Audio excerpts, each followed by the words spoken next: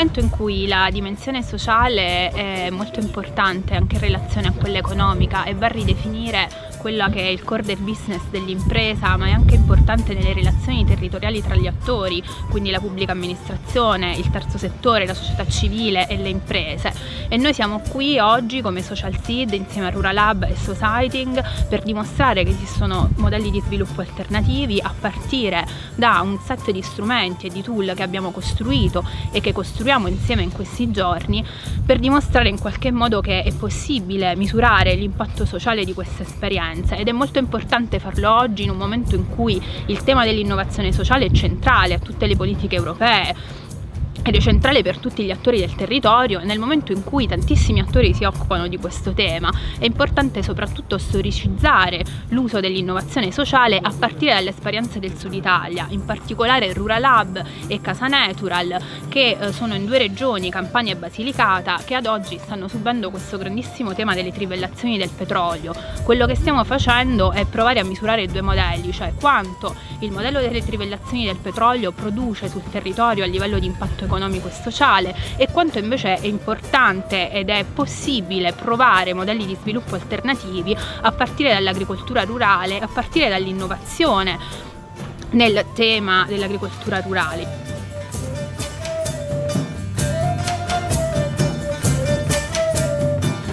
Le estrazioni petrolifere eh, sul, sull'economia della Basilicata incidono molto uh, perché um, rispetto a dati che abbiamo trovato abbiamo visto che le, um, le royalties de, che provengono proprio dalle estrazioni del, de, del petrolio incidono del 40% rispetto all'economia tipo dell'ultima finanziaria approvata pochi giorni fa. Uh, rispetto a questo, uh, il tema che abbiamo sollevato durante questa durante questi giorni di workshop eh, è proprio quello del, degli effetti che poi sono generati da questa tipologia di investimenti sul territorio perché se da una parte possiamo vedere che appunto come dicevo prima dalle stazioni del petrolio riusciamo a recuperare dei fondi che sono a sostegno dell'economia della regione dall'altra parte ci si interroga nel lungo periodo queste estrazioni poi che impatto hanno sul territorio impatto che sono sia um, non solamente dal punto di vista uh, ambientale ma anche un impatto dal punto di vista sociale.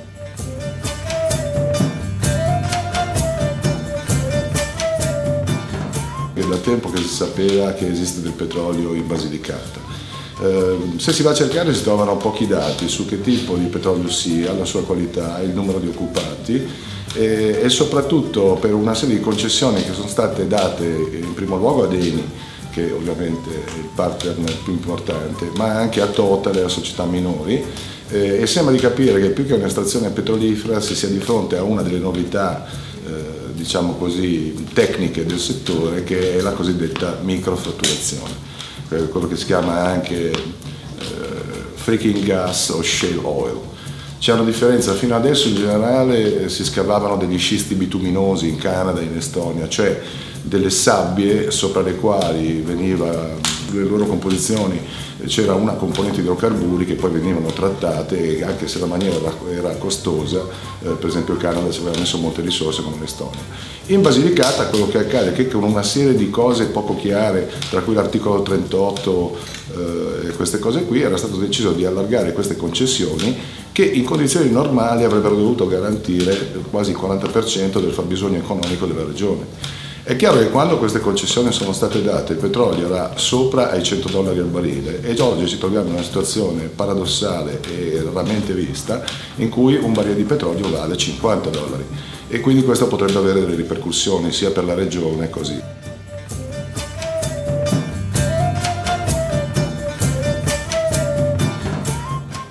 Nel caso della Basilicata e delle decisioni in merito all'uso delle risorse naturali eh, di quella regione, è evidente che eh, la decisione pubblica eh, al momento non è ancora basata su una base conoscitiva, una base di dati abbastanza ampia, nel senso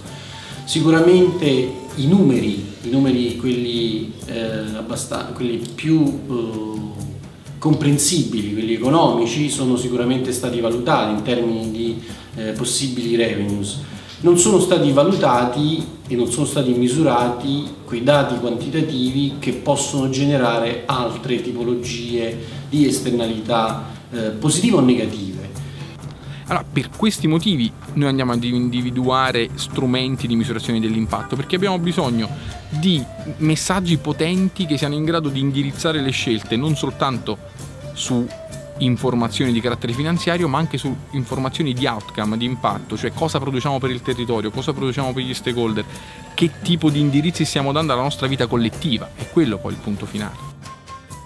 e quindi nel lungo periodo eh, valutare dove bisogna investire e quindi soprattutto capire se l'investimento su altre forme di energia, quindi questo vuol dire anche portare le politiche giovanili a investire su determinate eh, tipologie di, eh, di, politiche o anche investimento sull'agricoltura, investimento su altri tipi di industria che non siano quelle petrolifere, se possono portare veramente a una ricchezza e un benessere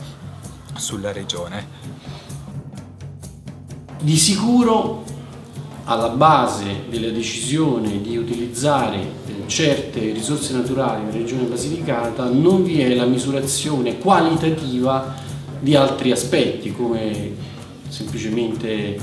l'accettazione, la giustizia, l'equità, la, la redistribuzione, cioè tutti i fattori umani. Ecco, valutare i fattori umani e soltanto in termini qualitativi, perché non si può misurare in termini quantitativi, la, concetti come la dignità, eh, come la democraticità eh, di, di, un, di un territorio, ecco, la misurazione qualitativa di questi aspetti è opportuna perché anche questa, insieme a quei dati quantitativi non economici, può contribuire a costruire un'analisi dei costi e dei benefici che forse porta nella direzione di una decisione pubblica costruita in maniera diversa.